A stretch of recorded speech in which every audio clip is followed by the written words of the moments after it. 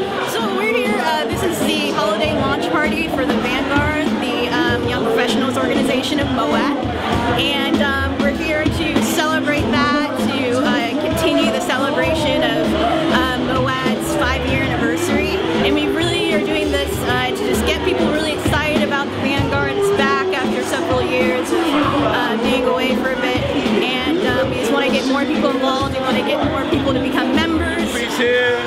It's called uh, Cruising Together. It's a 64 Impala, and it's a diagram how they laid out the slave strip. I'm doing this painting off the top of my head. It's bringing in a couple of themes that come in and out of my work. One is cowrie shells, the other is a warrior, and this is really the first time I think I've combined these two series. But I'm just taking the energy of the event here and channeling it into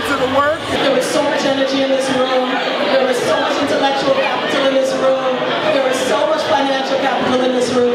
And we want you to support this really wonderful and important organization. So join Vanguard. Joey is there waiting for you. There is also a silent auction taking place there. That's another way that you can support us. I am so happy to be at the helm of this organization. We have a lot of work ahead. And to need all of you to be supportive. So join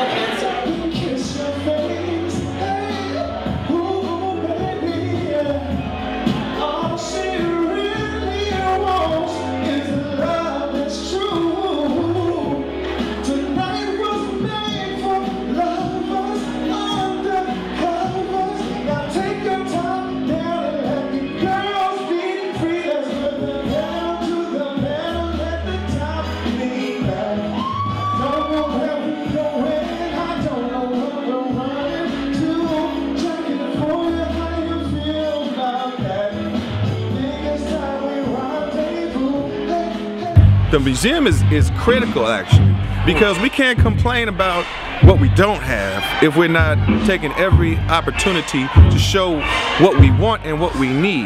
And the museum is standing on the front line for our needs, for our spirit, for our heart, for our minds, for our culture. What are you doing?